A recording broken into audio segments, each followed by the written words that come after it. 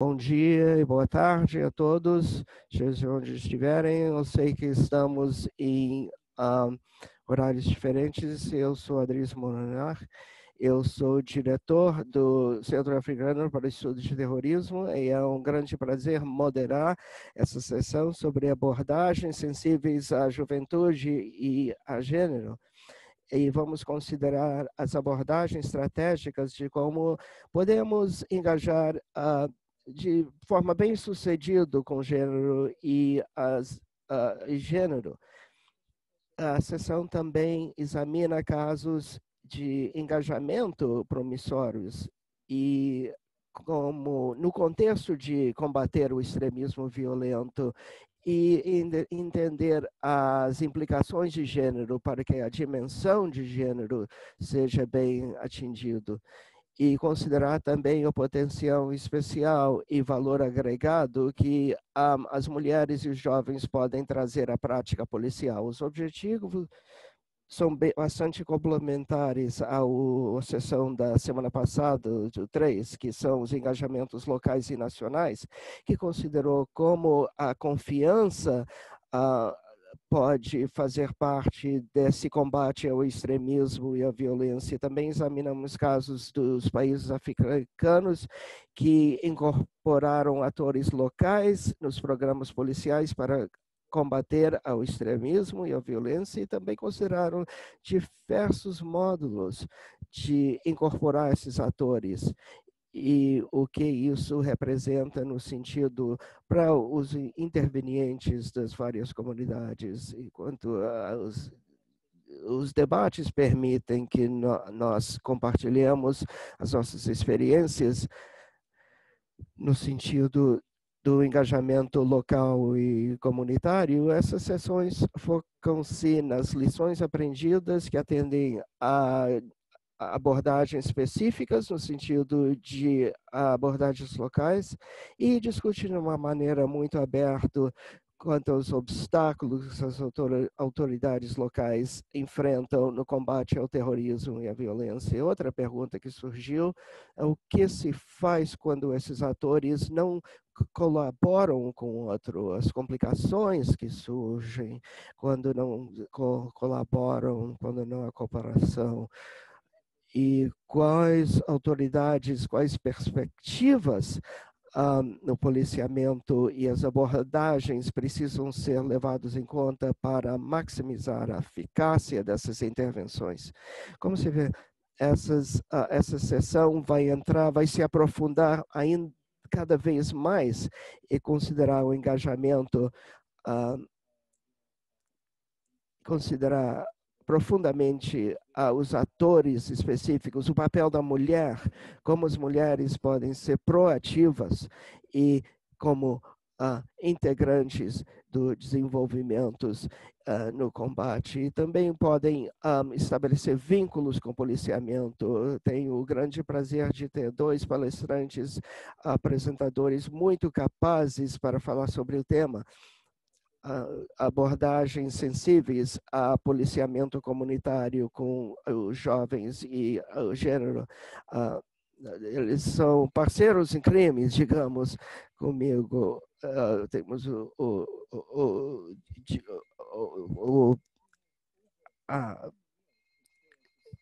Okena, que tem mais de 10 anos de experiência em, né, e mais de sete anos de experiência em gestão de ONGs, após três anos de prática em litígio e na área de governança com, e responsabilidade policial nos institutos que engajam, e ela também tem engajado em vários trabalhos sobre evolução de atores não estatais, sua contribuição para melhorar a policiamento e questões de gênero e também segurança de eleitoral. Ela também é muito ativa na área de guarnição de fundos, redes e outras áreas de liderança inovadora.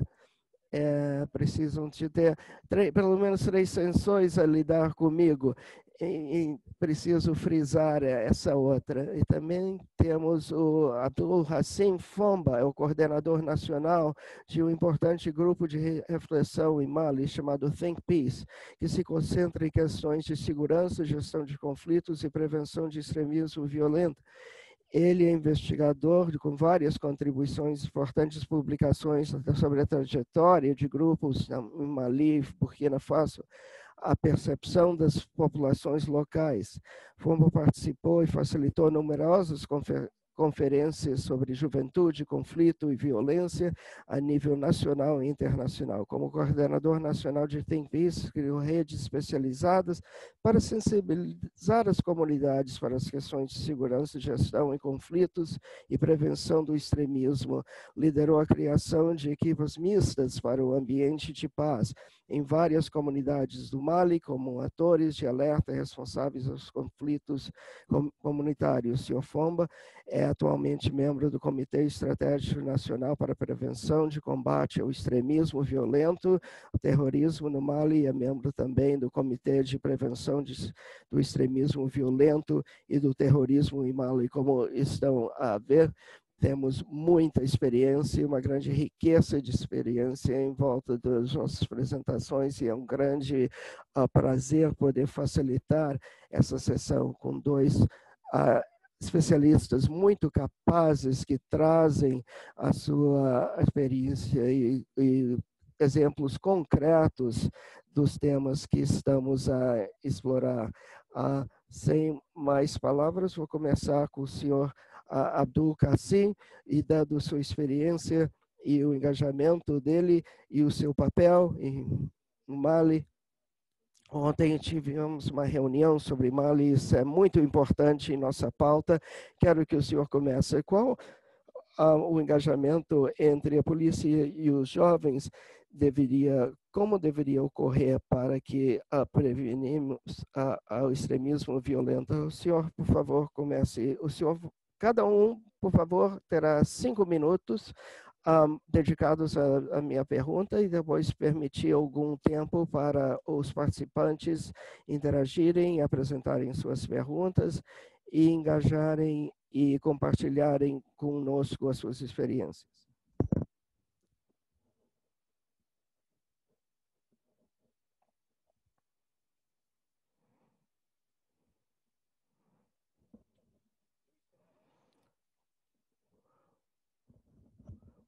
O senhor Cassim.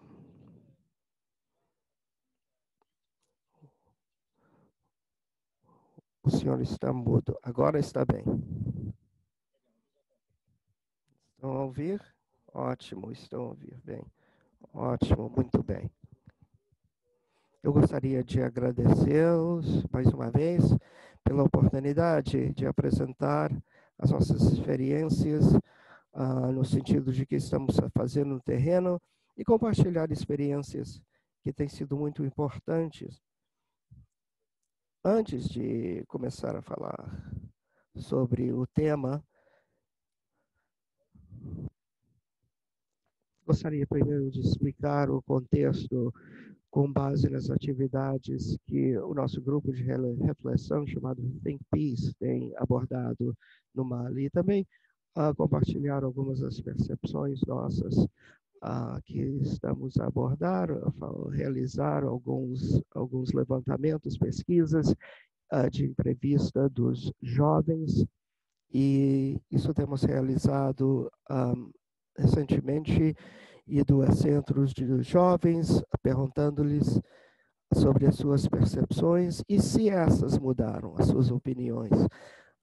Queríamos ter as reações específicas por parte dos jovens, o que eles pensam, quais as suas atitudes, e temos encarado temos visto isso na parte do sul do país, do Mali, e durante a, a sessão de debates eu poderei responder uh, de maneira mais específica as vossas questões, e isso se relaciona aos conflitos uh, das várias áreas do país.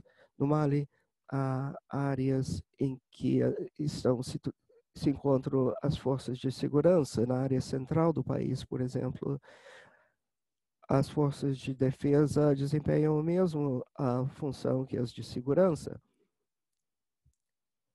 Às vezes, do ponto de vista das comunidades, é difícil distinguir entre estes dois grupos, esses uh, essas forças de segurança e de defesa, porque uh, muitas vezes desempenham o mesmo papel. É importante notar que uma maioria dos jovens pensa que vamos resolver os problemas dos extremismos violentos através de uma resposta militar. E essa abordagem tem marginalizado várias comunidades que pensam que estão a ser perseguidos. E por, por esse motivo, de se sentirem-se marginalizados, estamos a tentar a buscar uma abordagem mais com base na comunidade, soluções que serão aceitos por todos os lados. E como bem sabem, normalmente o governo seria responsável para a prover assistência e serviços para combater o extremismo violento, mas muitas vezes essas comunidades não estão a ter o apoio necessário. Portanto, no contexto atual de, do Covid-19, estes não estão a, ser, estão a receber a ajuda que precisam e as comunidades afetadas não estão a receber também ou estão a sentir os efeitos econômicos da Covid. No Mali,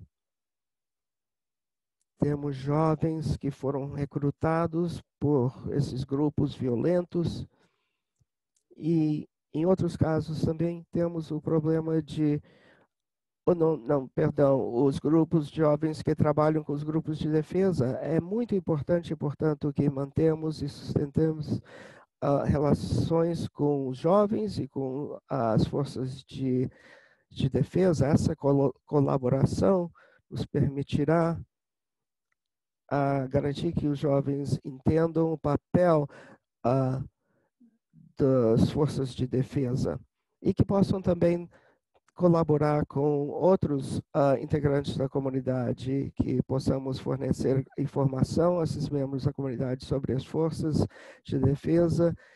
E, em vários casos, uh, participam vários atores. E no Mali nós chamamos esses de grupos, grupos uh, que vi de visitantes de fora.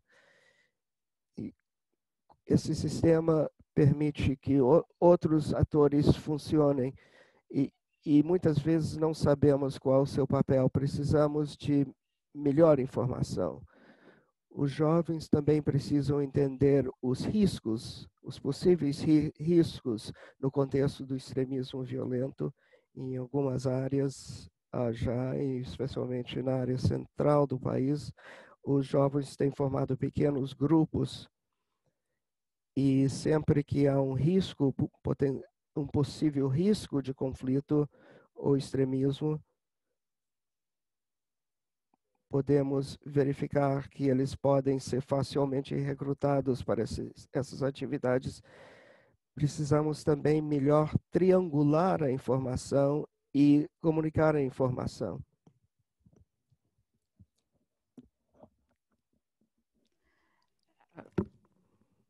De todas as vezes uh, nós falamos com eles e vimos que o sentimento na população, uh, nós explicamos que no terreno muitas vezes uh, foi impossível intervir. E há questões em que não há colaboração entre os jovens e as forças de segurança, mas noutros casos tem havido melhor colaboração. Então, essencialmente, é uma questão de os jovens obterem a informação. Eles também podem uh, compreender melhor o que se está a passar no terreno, ter uma melhor compreensão e reagir de acordo com isso, com essa informação, porque muitas vezes, infelizmente, há falta de coordenação. E, infelizmente, houve casos em que, quando há um incidente, uh, os uh, militares levam algum tempo a chegar ao local da incidência, da, do incidente, uh, isso no caso de massacres, etc., para que todos estejam cientes do que se está a passar. Muito obrigado, vamos dar seguimento depois, mas para comparar voltando a Cam, eu vou fazer a mesma pergunta, mas da perspectiva do papel das mulheres, porque o envolvimento entre as forças da ordem uh, e os, o setor uh, feminino tem importância no PCVE. Qual a importância de envolver as mulheres nesses programas importantes para a paz? Obrigado, Idris. Um contexto semelhante àquele que o Fomba descreveu. Para nós, a insurreição no Nordeste e esses focos no Nordeste um, requerem uh, o uh, envolvimento das forças da ordem uh, com a localidade, com as populações. O que nós temos é que temos uma arquitetura de, de paz ou, eh, que tem o seu custo. Ao avançarmos com uh, os militares que existe, o sistema militar que existe para a democracia, uh, todos deveríamos estar enfocados uh, nessas organizações. E as mulheres são parte do grupo de cidadãos que precisa de estar envolvido no sistema. Temos também a situação em que as mulheres são uh, metade da população. Uh, elas estão muitas vezes dentro das ordens, das forças da ordem e da comunidade, mas trata-se de uma sociedade muito patriarcal. Se não criarmos o espaço e um ambiente propício para elas atuarem, vamos perder uh, informações essenciais, vamos perder contato com uma população essencial que quer estar envolvida. E é necessário ter também capacidades que não se consegue obter noutros lugares, os avisos prévios, os sistemas de aviso prévio e a mediação são duas áreas em que vemos que as mulheres desempenham um papel fulcral quando há questões que foram identificadas dentro do seu espaço uh, privado, microespaço, com, nas comunidades em que elas conduzem as suas atividades ou têm os seus lares, ou ao nível mais amplo da comunidade, aquilo que elas veem e ouvem esses, quando esses espaços não existem, essa informação vital é perdida. Do lado das agências da segurança, há uma regra básica que diz que os agentes têm que se um, têm que participar com as populações. Uma agência das forças da lei, quando há questões que são peculiares, por exemplo, quando há violência baseada no género, uh, isso deve ser comunicado aos agentes homens ou mulheres, uh, se for mais confortável. Vê-se essa dinâmica. E uh, olhando para esse grupo de agentes não estatais, é necessário ainda mais espaço para as mulheres. Eh, quando começamos a nossa organização no Nordeste, ao longo do tempo, foi necessário ter uma presença uh, feminina e, e foi assim que se desenvolveu essa presença, porque há grupos insurretos que agora usam mulheres como participantes ativos. Então, elas são, elas uh, transportam uh, um, correio, informações e outras coisas. São cidadãs, mulheres, é preciso ter essas uh, mulheres para, por exemplo, uh, fazer parar e fazer buscas nas, em outras mulheres e daí essa colaboração com as forças da lei e da ordem. Obrigada, Kimi.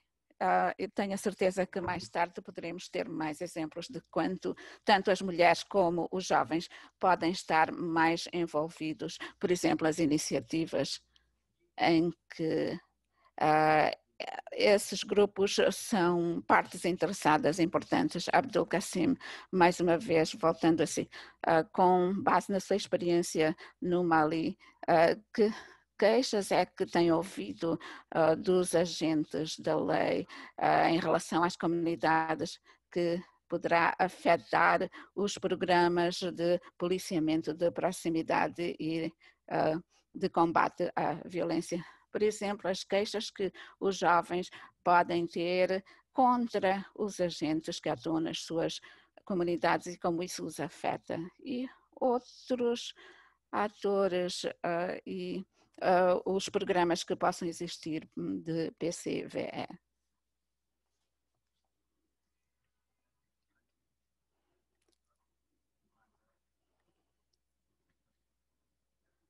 Muito obrigado. Há um, um ponto que é essencial. É que, atualmente, as forças da ordem que estão a cargo da proteção das pessoas e, e bens uh, estão numa contradição em relação aos jovens. Os quatro setores que estão no espaço norte do Mali eles não estão a atuar hum, pelas mesmas razões, mas unanimamente eles têm falta de confiança uh, nas forças de segurança.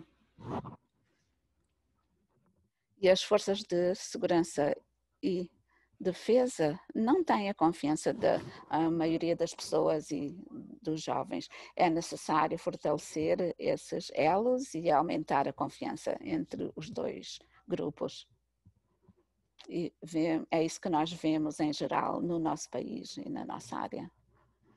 Em primeiro lugar, como eu disse, há falta de confiança, mas uh, primeira razão para isso é o receio de que se possa ver, ser visto como colaborador dentro da comunidade, se se está a trabalhar com as forças de segurança, como eu disse antes, alguns membros da comunidade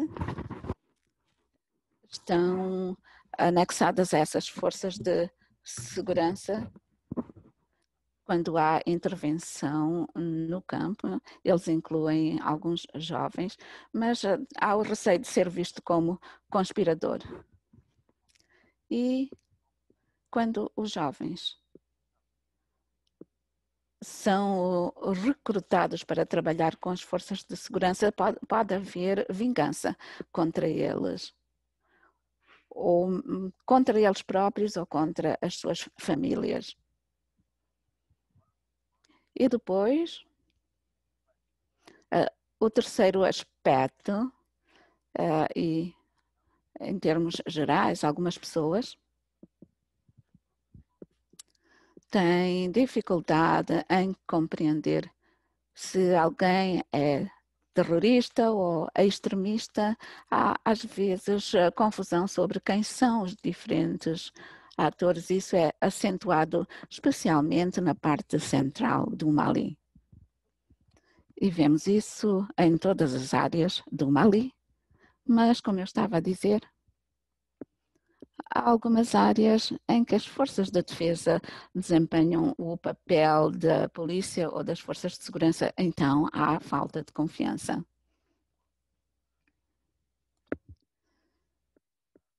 E há atividades em que é difícil promover as informações ou a sensibilização.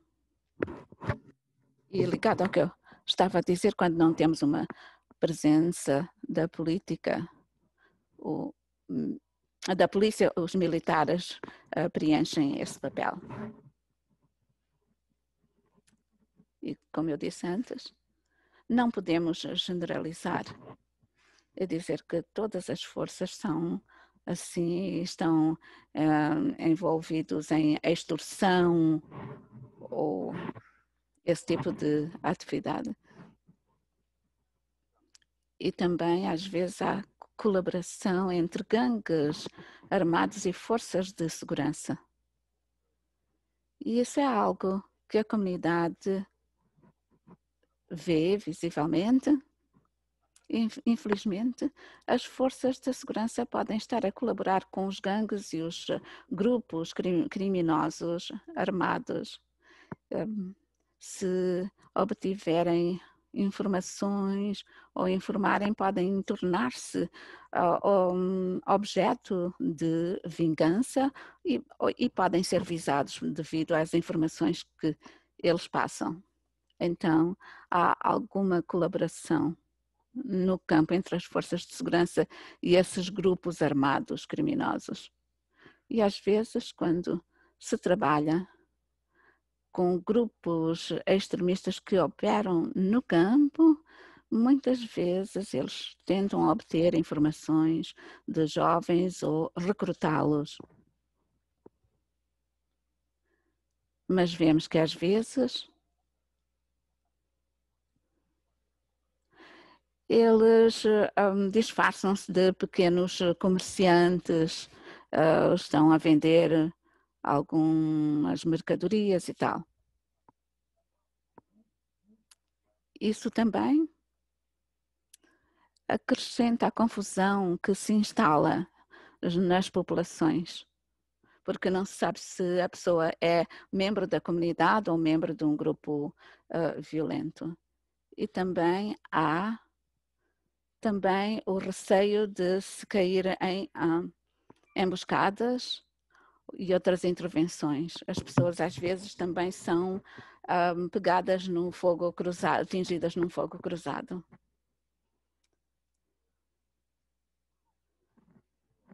Há uma coisa é, é, engraçada, mas é a realidade.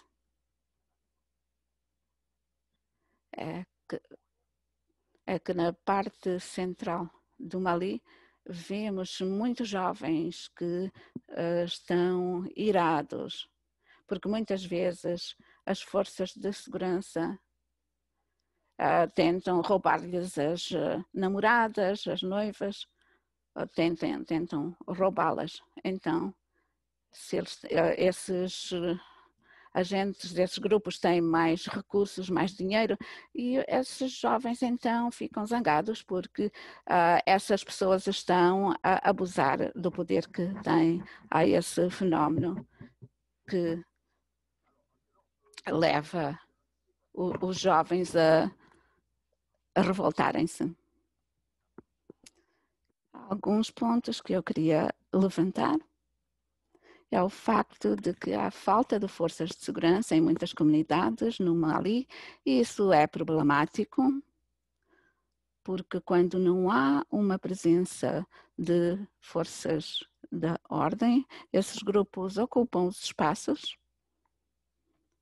e podem ser grupos locais, podem ser jovens que criam os seus próprios grupos de defesa para defender a comunidade, ou há outros grupos que vêm propor serviços de segurança à comunidade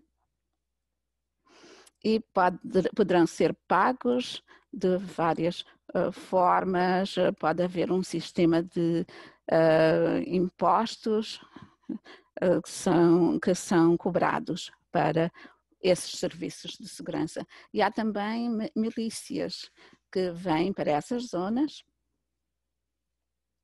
e muitas vezes tentam recrutar os jovens eh, das aldeias e como resultado hum, dos membros da comunidade nessas localidades eh, acharem difícil lutar contra essas milícias é porque os membros da sua própria comunidade foram integrados nas milícias. Há um outro ponto importante que é a relação entre as forças de defesa e de segurança e por relação, isto é, o sentimento, a percepção. E eu posso hum, até citar algumas das palavras que eles citam. Usam palavras como a, a relação desmoronou-se, é extremamente má, são uh, palavras muito fortes eh, de conotação negativa atribuída às suas forças de segurança e é extremamente importante que tenhamos essas, esses relacionamentos com, dentro da comunidade para que os membros da comunidade não uh, tenham suspeitas uh, em relação às forças da ordem. Às vezes, as pessoas que foram vítimas de abuso de poder e outras questões por parte das forças de segurança não têm um recurso, não têm for a forma de exprimir as suas preocupações. Temos que encontrar formas de resolver essa questão. E também temos que examinar questões.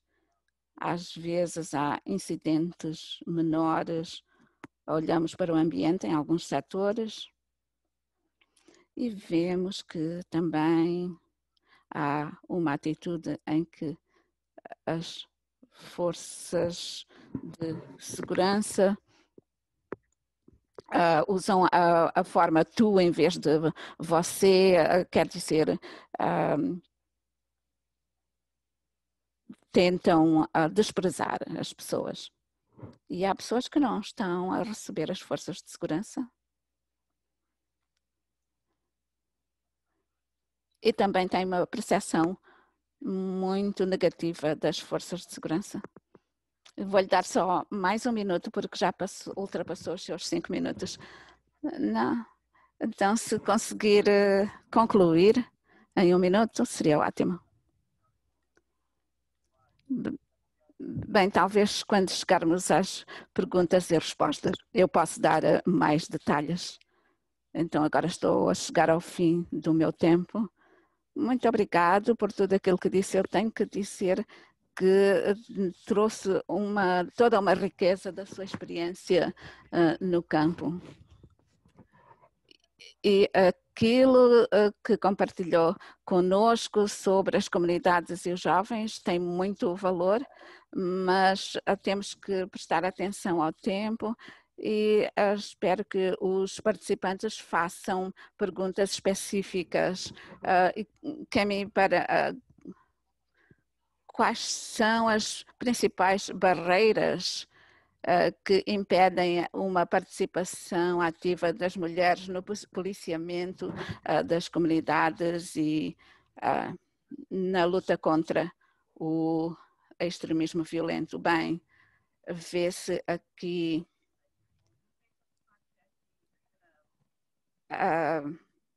nós vemos problemas na religião, na cultura, e no quadro legislativo.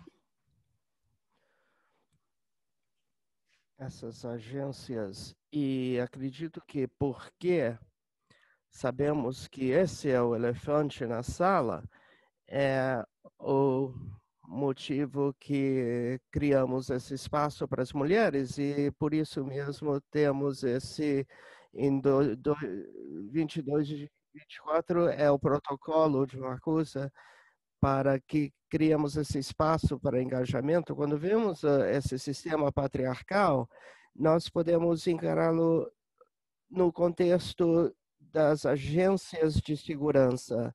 Temos então esse cenário em se eu usar as forças nigerianas de segurança como exemplo, eles há mais ou menos 12,4% de mulheres nas forças policiais em uma organização que de 300 mil. E veja-se, atualmente não temos uma funcionária de deputada-geral de polícia, talvez um AIG ou talvez dois CPs. Isso na, na equipe de gestão da polícia. Precisamos de muito mais mulheres uh, representando a, a polícia. Eu expliquei antes como nós analisamos a evolução da participação das mulheres nas forças militares de segurança, porque isso foi visto como uma resposta às atividades dos grupos de insurgência. Nós analisamos também quando as pessoas falam sobre a prevenção do extremismo violento, por que a, a abordagem militarizada é muitas vezes utilizada ao invés do, da abordagem mais amena, não se utiliza tantas mulheres, mas quando vemos as causas ah, que estão nas raízes desses problemas, isso um, exigiria mais uso das mulheres e mais espaço para as mulheres a se envolver. A resposta por parte do Estado à prevenção do extremismo também é um desafio uh, no sentido, ou uma barreira quanto à participação das mulheres na prevenção da violência e do extremismo no país. Há também todos os aspectos técnicos, os desafios técnicos. Quando nós levantamos essas questões técnicas, há cada vez mais essa tendência das mulheres a pensarem que não estão equipadas para uh, esse engajamento, que elas não têm a instrução uh, suficiente em comparação aos homens. Uh, se a gente analisar a taxa de elas deixarem de estudar, é um sistema, portanto, que não funciona ao nosso favor. Quando se fala de financiamento, muitos dizem que o financiamento também age contra as mulheres. Há isso tudo no sistema informal em que as mulheres contribuem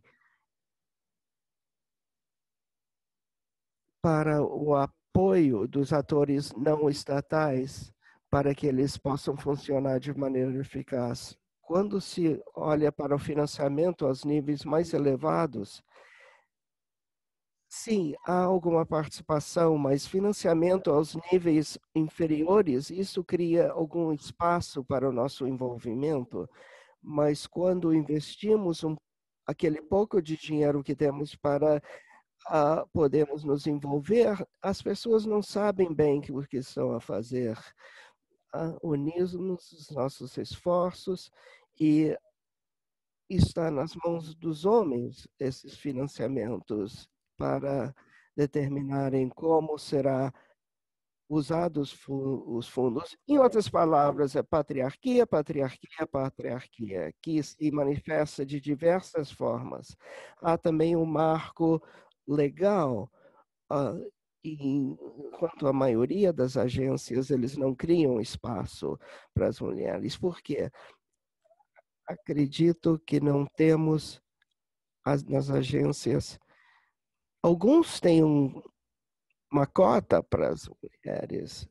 Em, as políticas de gênero estão a ser desenvolvidas, Porém, quando falamos dessas políticas de gênero, eles estão a ver as áreas de serviços, não do ponto de vista de recrutamento e recrutamento de mulheres nessas agências, o treinamento, a capacitação, a política para reter essas mulheres, para promovê-las, todo o espectro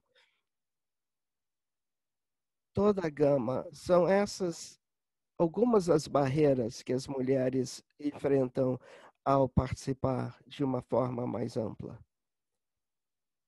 Muito obrigado, Kimi. Isso é muito útil. Eu acho que nós todos podemos entender o que vocês estão a dizer, o que vocês estão a descrever como as principais barreiras ao envolvimento, o envolvimento por parte dos interessados. Agora, Abdul Kassim, meus Perdão, deixa eu voltar e perguntar como que a eficácia do engajamento com jovens pode ser melhorado, aumentado para então aumentar, especialmente no combate ao terrorismo e à violência, voltando ao senhor Racine.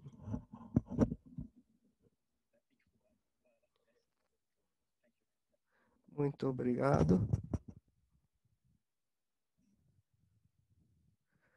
Como podemos ter um melhor envolvimento quando se considera a complexidade desses envolvimentos, engajamento com jovens, é envolvê-los na resposta. Não é o suficiente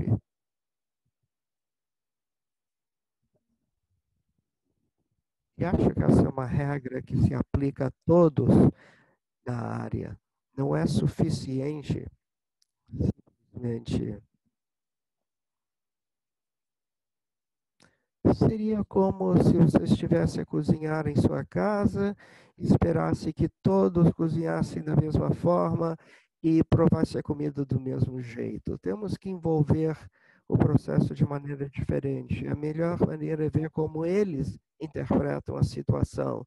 Eles entendem a pergunta, eles entendem a situação e se essas abordagens estão a responder às necessidades da comunidade.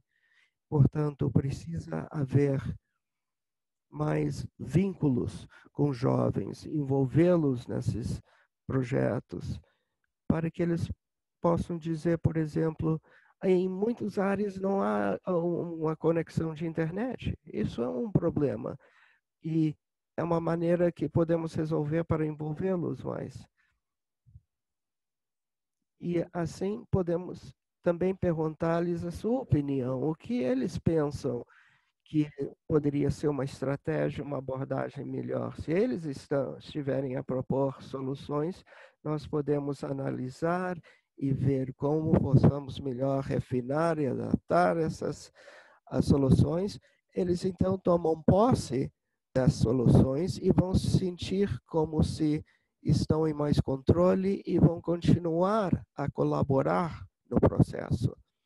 Portanto, precisamos focar também no financiamento, nos recursos, porque estamos aqui a falar sobre sociedades, comunidades que não têm possibilidades, muitas possibilidades econômicas.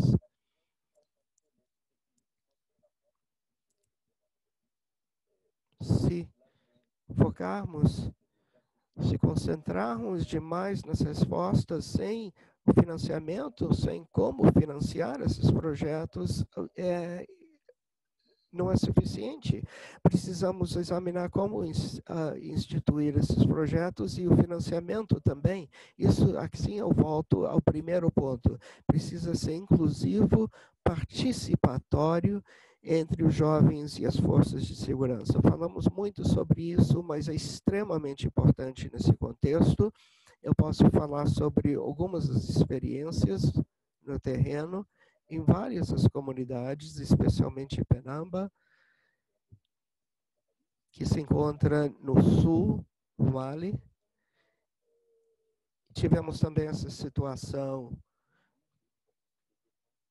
em outras aldeias onde as forças de defesa e de segurança e as forças policiais e os jovens sentaram na mesma sala, em volta da mesma mesa. Isso foi um caso excepcional. Foi a primeira vez. Alguns deles me disseram que foi a primeira vez que eles se encontraram na mesma sala, no mesmo local, com as forças de segurança, num ambiente de paz. Porque normalmente, quando eles enfrentavam uh, os policiais, era uma situação de confronto. Então, eles me disseram que foi a primeira vez que eles se uniram dessa maneira. Foi extraordinário, a primeira vez que eles abriram os olhos e pensaram: foi assim, vocês podem nos fazer a pergunta que quiserem, não há não há, há consequências negativas, então eles puderam trocar ideias com os policiais. Essa seria um, esse seria um exemplo positivo. Essas abordagens uh, participativas também temos Nesse contexto, tentamos implementar atividades conjuntas através de eventos desportivos, culturais, de meio ambiente. São todas uh, situações em que tentamos unir os jovens e os uh, policiais. Mas isso é extremamente útil em contextos em que tem havido muita desconfiança, mas quando há um, um jogo de futebol, eles estão a jogar juntos e torna-se uma situação muito positiva. E muitas vezes os jovens têm ido a, a, a nos locais, no, nos acampamentos das forças de segurança e ajudar a fazer limpeza, a colaborar, a eles têm organizado peças, eventos culturais e desempenhado o papel de policiais e como eles desempenhariam a função de uma maneira mais assim uh, cômica, mas eles assim os policiais podem assim mensurar uh, o ponto de vista dos jovens. E isso tudo são maneiras importantes de exemplos importantes de como melhorar as relações através, portanto, de atividades culturais, tem também contextos ambientais em que as forças de segurança limpam as florestas, os, os campos, construir canais. São todas as atividades em que envolvemos a, as forças de segurança com os jovens nesses projetos ambientais. Em uma área tinha muitas questões, muitos problemas entre os jovens e as forças de segurança.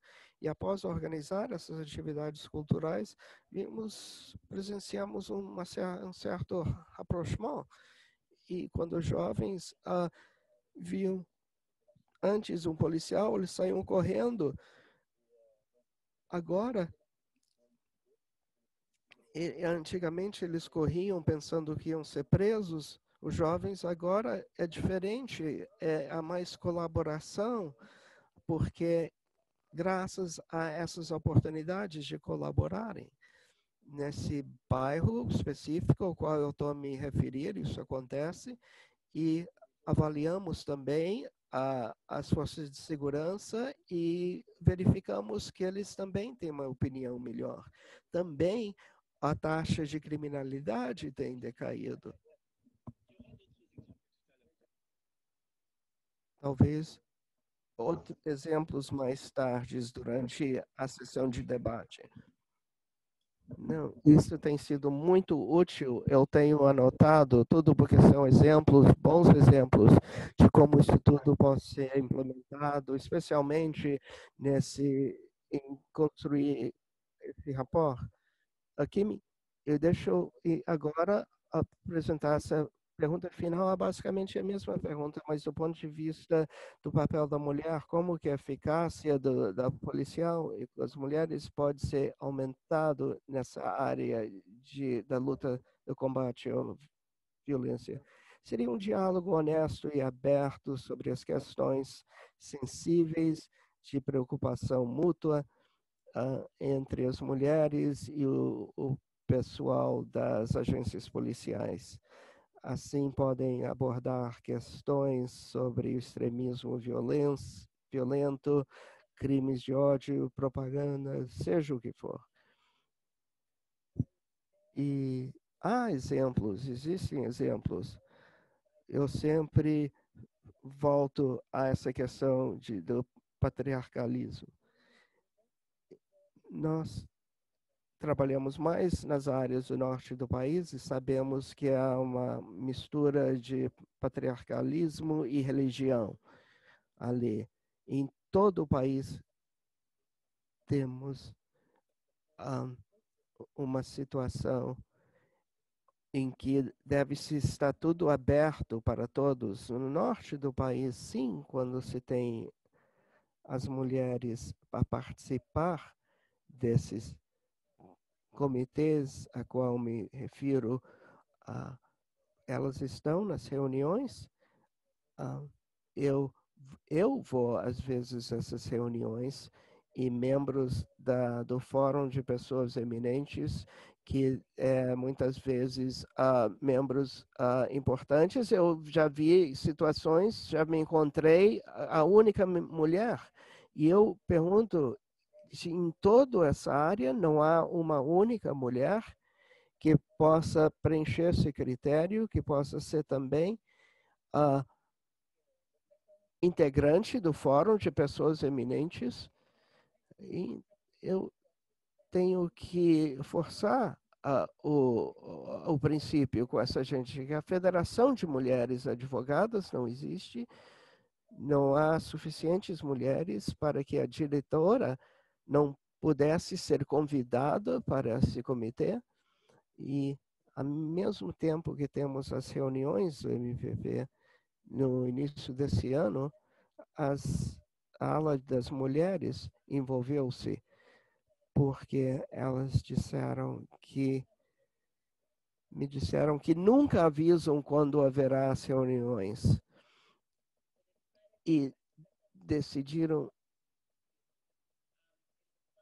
no, na área do sul decidiram a ter uma ala feminina do CSP.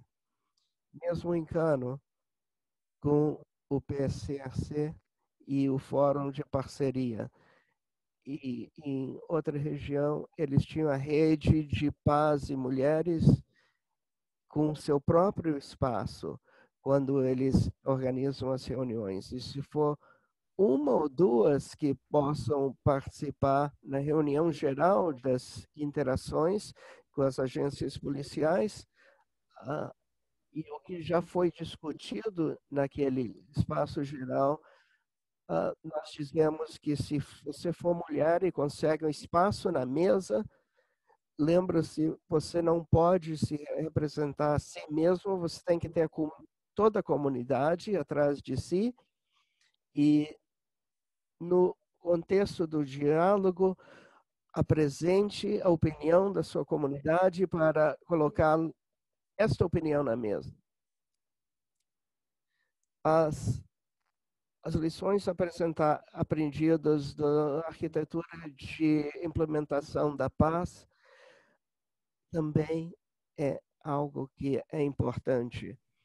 Uh, nós trabalhamos como mediadoras, nós abordamos questões que têm a ver com violência de gênero, são as questões que estão a ver no espaço de PCV. Podemos, então, construir sobre essas lições aprendidas. A, a compartilhação de informação, quando falamos de, dessas plataformas de informação, os nossos telefones celulares têm se tornado uma plataforma excelente nesse sentido. Encontra-se. Eu sou integrante de vários, várias plataformas. Nós temos uma plataforma no WhatsApp e em Telegram que nos permite compartilhar informação, nos permite até a trocar ideias quando surgem essas ideias. Também permite que mobilizemos recursos em tempo útil podem ser capacidade técnica, disponibilidade para apresentar uma questão. Além da pl plataforma feminista, também temos uma plataforma chamada Atualização de Gênero. Permitimos que homens façam parte dessa plataforma também. Assim, temos homens que acreditam em criar espaço para as mulheres engajarem? Então, para algumas das plataformas, nós temos agentes de segurança e forças da ordem, e algumas dessas pessoas são uh, pessoas que não foram uh, identificadas, uh, não divulgamos a sua identidade no grupo WhatsApp. Recentemente, nós aprovamos uma lei sobre a polícia, uma lei de 2020, que é propícia para o género, porque tem uma cláusula em que, é, em que diz que há igualdade de oportunidades em, em termos de género e temos a política de género no país. Com essa política do género, temos o Plano Nacional de Ação uh, sobre a lei da polícia e as mulheres na polícia. Uh, isso foi agregado à lei sobre o combate ao, ao terrorismo e à violência extremista. E esses grupos debatem as questões sobre policiamento, etc. E, então, essa é a maneira como são tratadas as coisas agora. E, finalmente, a sensibilização sobre o género. Uh, nunca é demais fazer algo mais sobre isso em termos das instituições, de, da lei e da ordem na Nigéria. A, a resolução das Nações Unidas 2024 está limitada à liderança das agências e dentro uh, dos quadros médios não se falava dos uh, representantes mais jovens. Então, essa sensibilização vai levar essas questões uh, à luz. Essa resolução 1325 uh, também está ligada ao protocolo de Maputo, uh, em termos de África, a, parte, a plataforma africana, que foi desenvolvida por pela unidade eh, é, que é responsável pelo género. E isso chama atenção para aquilo que nós precisamos de mensurar. Tem que haver uma base de comparação. E é, é isso. Maravilhoso. Muito obrigado, Cami. Eu peço desculpa normalmente, peço desculpa aos participantes. Eu normalmente mantenho o tempo dentro do que foi previsto, mas uh, queríamos ouvir sobre exemplos concretos.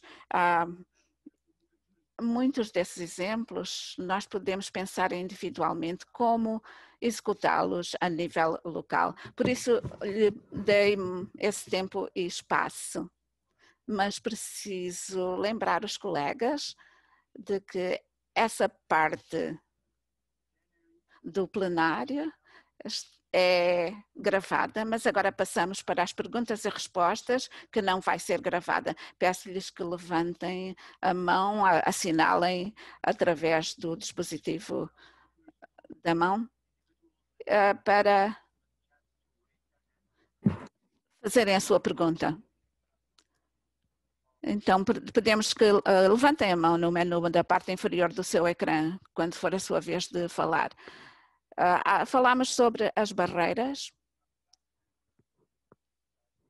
Uh, foram uh, mencionadas percepção e suspeita das leis da ordem e do ponto de vista dos grupos extremistas e das forças da lei. Eu sou árabe, então de cada vez que sou visto, sou suspeito, tenho que fazer a barba, não é? Mas em muitos países